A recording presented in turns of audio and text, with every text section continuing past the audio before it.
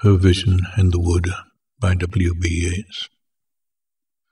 Dry timber under that rich foliage, at wine dark midnight in the sacred wood. Too old for a man's love, I stood in rage, imagining men, imagining that I could the greater with the lesser pang assuage. Or but to find if withered vein ran blood, I tore my body that its wine might cover whatever could recall the lip of lover and after that I held my fingers up, stared at the wine dark nail, or dark that ran down every withered finger from the top.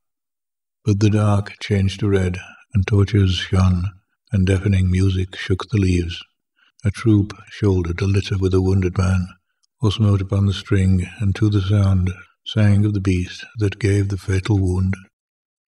All stately women moving to a song, with loosened hair or foreheads grief distraught.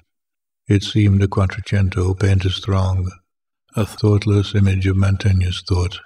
Why should they think that ah, forever young? Till suddenly, in grief's contagion caught, I stared upon his blood bedabbled breast, and sang my malediction with the rest. That thing all blood and mire, that beast torn wreck, half turned and fixed a glazing eye on mine, and though love's bitter sweet had all come back, those bodies from a picture or a coin, nor saw my body fall, nor heard it shriek, nor knew, drunken with singing as with wine, that they had brought no fabulous symbol there, but my heart's victim and its torturer.